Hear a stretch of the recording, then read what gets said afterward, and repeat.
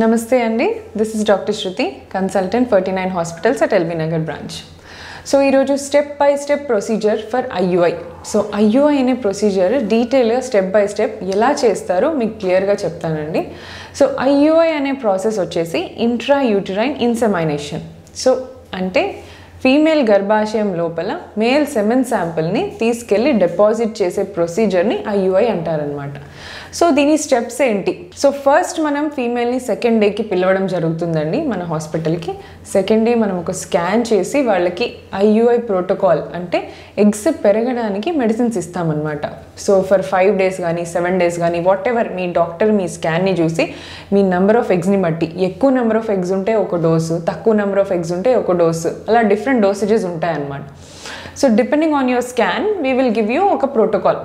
So ఈ medicines అన్నీ వాడిన తర్వాత we'll call you after one week so day టూకి ఫస్ట్ పిలిచిన తర్వాత next visit will be on day eight of menses day eight or day nine ఆ రోజు స్కాన్ నుంచి ఫాలిక్యులార్ స్టడీ అనేది స్టార్ట్ అవుతుంది. ఫాలిక్యులార్ స్టడీ అంటే ఎగ్ గ్రోత్ని మానిటర్ చేసే స్టడీని ఫాలిక్యులార్ స్టడీ అని చెప్తారు.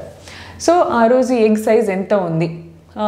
Generally on eighth or ninth day egg size should be around twelve to thirteen mm so ఈ సైజులో ఎగ్ ఉన్నట్టయితే అది ప్రాపర్ సైజ్ అని ఇండికేషన్ అనమాట సో ఇలా చూస్తూ వెళ్తే మనం around fourteenth day or thirteenth day your egg will become mature eighteen mm అవుతుందన్నమాట egg whenever it crosses eighteen mm that is a perfect time to do an IUI so మనకు patient ఈరోజు IUI కోసం వచ్చారు.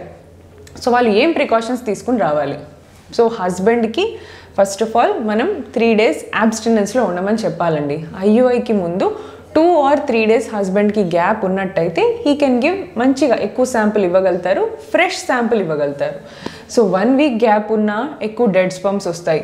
Only one day gap ఉన్నా చాలా తక్కువ quantity of semen వస్తుంది. So IUI for example twenty ఎయిత్కి plan చేసామనుకోండి సెవెంటీన్త్న హస్బెండ్ వచ్చేసి శాంపుల్ డిస్కార్డ్ చేయడం కానీ న్యాచురల్ ఇంటర్కోల్స్లో వైఫ్తో పార్టిసిపేట్ చేయడం కానీ చేయాలన్నమాట.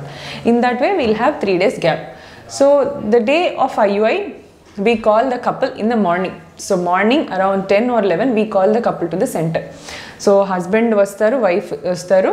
ఫస్ట్ మనము వైఫ్కి ఒక ఎగ్ రిలీజ్ అయిందా లేదా అనేది స్కాన్లో చెక్ చేసుకుంటాం అనమాట so this is called yes follicular rupture అయిందా లేదా అని చెక్ చేసుకునే స్కాన్ సో రప్చర్ అయిందా అని స్కాన్లోనే కాకుండా చాలామంది ఫీమేల్స్కి ముందు రోజే తెలిసిపోతూ ఉంటుందండి. నాకు చాలా పెయిన్ వచ్చింది రైట్ సైడ్లో లెఫ్ట్ సైడ్లో పెయిన్ వచ్చింది.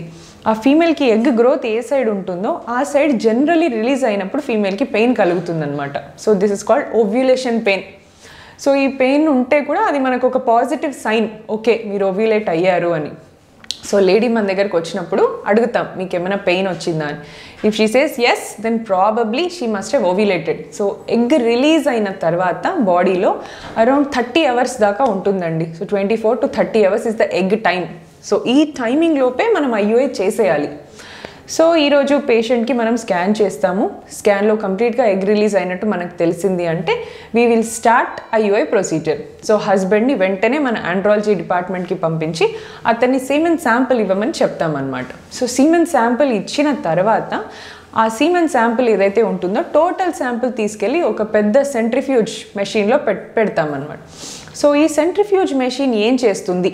మెయిన్ అంటే ఏమంటారంటే the important thing of IUI వచ్చేసి ఈ సెంట్రిఫ్యూజ్. సో ఇందులో డిఫరెంట్ టెక్నిక్స్ ఉంటాయి. ఏ టెక్నిక్లో సెంట్రిఫ్యూజ్ జరుగుతోంది? డెన్సిటీ గ్రేడియంట్ మెథడా? ఏ మెథడ్స్ అనేవి చూసుకొని మనం ఫాలో చేసేది డీడీజీ మెథడ్ అనమాట generally. So which this is the best method for IUI so దీంట్లో మనం సిమెంట్ శాంపుల్ని ప్రాసెస్ చేసి ప్యూరిఫై చేసి ఆ సెంట్రిఫ్యూజ్ మెషిన్లో ఒక forty minutes to one hour అనేది సిమెంట్ శాంపుల్ ప్యూరిఫై అవుతుందన్నమాట. So that is a main step so అందులో అట్లీస్ట్ ఒక fifteen millions ten to fifteen millions sample కణాలు ఉన్న హస్బెండ్కి అయితే ఆ యూఐ అనేది పర్ఫెక్ట్గా వర్కౌట్ అవుతుంది. సో ఈ ఈ సెంట్రిఫ్యూజ్లోంచి కలెక్ట్ అయిన శాంపుల్ని మళ్ళీ ఆండ్రాలజిస్ట్ చెక్ చేయడం జరుగుతుంది. సో బిఫోర్ సెమెన్కి ఆఫ్టర్ సెంట్రిఫ్యూజ్ సెమెన్కి ఎంత డిఫరెన్స్ ఉంది? So only highly motile sperms proper morphology ఉన్న స్పర్మ్స్ మాత్రమే సెంట్రిఫ్యూజ్ తర్వాత ట్యూబ్లో మిగిలిపోయి ఉంటాయి అన్నమాట సో ఈ ఈ సెమెన్ శాంపుల్ని మళ్ళీ చెక్ చేసి దీన్ని పోస్ట్ వాష్ శాంపుల్ అని చెప్తారు. సో ఈ పోస్ట్ వాష్కి ప్రీ వాష్కి ఎంత డిఫరెన్స్ ఉందో చూస్తారు. సో పోస్ట్ వాష్ శాంపుల్లో అట్లీస్ట్ మనకి fifteen to twenty millions count ఉండి ట్వంటీ ఫైవ్ పర్సెంట్ మొటిలిటీ ఉంటే మంచిగా ఐయుఐ సక్సెస్ ఛాన్సెస్ ఉంటాయన్నమాట. సో వన్స్ ఆండ్రాలజిస్ట్ మనకి శాంపుల్ రెడీ అని చెప్పిన తర్వాత within half an hour of the sample preparation అది వైఫ్లో గర్భాశయంలో ఇంప్లాంట్ చేయాల్సి ఉంటుంది. హాఫ్ అన్ అవర్ లోపల చేస్తే స్పర్మ్స్ అన్నీ డెడ్ అవ్వకుండా చాలా యాక్టివ్గా ఉంటాయి కాబట్టి we have to do it as early as possible అనమాట within in half an hour half an hour దాటితే ఒక్కొక్కసారి శాంపిల్ వేస్ట్ అయిపోతుంది అండ్ సమ్మర్స్లో ఎస్పెషల్లీ త్వరగా శాంపిల్ వేస్ట్ అయిపోతుంది అనమాట సో దాన్ని ఆండ్రాలజిస్ట్ మన చేతికి ఇవ్వగానే వైఫ్ని రెడీగా పొజిషన్లో పెట్టుకోవాలి.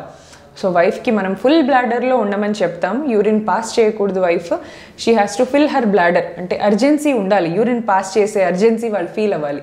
ఆ టైంలో మనం వైఫ్ని పొజిషన్లో పెట్టుకొని శాంపుల్ మనకి తెచ్చి ఇవ్వగానే ఇమ్మీడియట్లీ మనం వైఫ్ని లిథాటమీ పొజిషన్లో పడుకోబెట్టేసి full బ్లాడర్లో scan through scan scan guide చేస్తూ స్కాన్లో మనం చెక్ చేస్తాం. ఈ సెమెన్ శాంపుల్ అనేది ప్రాపర్గా యూట్రస్ లోపలికి వెళ్తుందా లేదా అలా చూసుకుంటూ even we can show the couple కపుల్ని కూడా మనం పిలిచి స్కాన్ రూమ్లో చూపించవచ్చు మీ శాంపుల్ ప్రాపర్గా మీ గర్భాశయం లోపలికి వెళ్ళింది. సో చిన్నగా ఒక సన్న క్యాథెటర్ పెన్ రీఫిల్ అంత థిన్గా ఉంటుందండి క్యాథెటర్లో. దాంట్లో శాంపిల్ తీసుకుంటారు.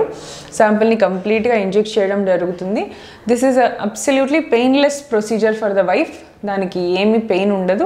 వన్ మినిట్లో మనం శాంపిల్ స్లోగా ఇన్స్ ఇన్సమైనేట్ చేసేస్తాం అనమాట once after the procedure is done మనం వైఫ్ని ఒక fifteen to twenty minutes of rest on the table దానివల్ల ఏమవుతుందంటే శాంపుల్ త్వరగా లోపలికి వెళ్ళి అక్కడే ఉంటుంది బయటికి లీక్ అవ్వకుండా. ఇమీడియట్గా లేచిన ఇమీడియట్గా రెస్ట్ రూమ్ వెళ్ళినా శాంపుల్ కొంచెం బయటికి వేస్ట్ అయ్యే ఛాన్సెస్ ఉండొచ్చు. So we give fifteen or twenty minutes of rest and then ఆ కప్పుల్ని లేచి మనం we can send them back home so special precautions ఏం లేదండి. దే కెన్ హ్యావ్ ఎవ్రీథింగ్ ఫుడ్లో అన్నీ తీసుకోవచ్చు. జనరలీ పెద్దవాళ్ళు పపాయ తినకూడదు ఇట్లా ప్రెగ్నెన్సీ ప్లాన్ చేసే వాళ్ళు అంటారు కాబట్టి we also advise them not to take papaya or pineapple ఇలాంటి ఫ్రూట్స్ వద్దని చెప్తాం. Other then that she can have everything and bed rest ఏమీ అక్కర్లేదండి వర్క్కి వెళ్ళిపోవచ్చు. అండ్ ఈ ఐయుఐ ప్రొసీజర్ తర్వాత కూడా న్యాచురల్ ఇంటర్ కోర్స్లో కపుల్ ఇంకొక టూ త్రీ డేస్ పార్టిసిపేట్ చేయాల్సి ఉంటుందన్నమాట. దానివల్ల ఇంకా ఆ రోజు ఉన్న శాంపిల్ కాకుండా two three days extra sample కూడా ఉంటుంది. ఫర్ ఎగ్జాంపుల్ కొద్దిగా ముందు రిలీజ్ అయిన ఎగ్ తర్వాత రిలీజ్ అయినా కూడా before IUI and after IUI inter కోర్స్లో పార్టిసిపేట్ చేసినట్టయితే we will have sperms ready for the egg so this is the total procedure of IUI అండి. ఐయుఐ ఫర్ ఎగ్జాంపుల్ ట్వంటీ ఎయిత్కి జరిగింది అనుకోండి so fifteen days of IUI తర్వాత మనం urine pregnancy test అనేది check చేసుకోవచ్చు. ఆ రోజు కూడా మనకు పాజిటివ్ వచ్చే అవకాశాలు ఉంటాయి. బట్ జనరలీ మేము పీరియడ్ మిస్ అయిన ఒక వన్ వీక్ ఆగి చెక్ చేసుకోమంటాం అనమాట so because two to three days అనేది డిఫరెన్స్ రావచ్చు కాబట్టి ఒక వన్ వీక్ వెయిట్ చేసి అప్పటికీ ప్రెగ్నెన్సీ ఇంకా పీరియడ్స్ రావట్లేదు అంటే ఒక చిన్న యూరిన్ కిట్లో ప్రెగ్నెన్సీ టెస్ట్ చెక్ చేసుకోమని చెప్తాం. So in our centre we have around twenty five to thirty percent of success in IUI which is a huge success international success రేట్కి మ్యాచ్ అవుతుంది. So this is the all about IUI procedure thank you so much చూశారు కదా? Fertility అంటేనే forty nine అని అర్థం. ఇంతకు మించిన సాక్ష్యం ఏం కావాలి? ఇది India's best fertility hospital most advanced labs best doctors high success rate with affordable cost international IVF success రేట్కి equal success rate transparent approach ethical treatment ఎటువంటి జన్యు లోపాలున్నా సరిచేసి ఆరోగ్యవంతమైన శిశువుని మీకు అందిస్తుంది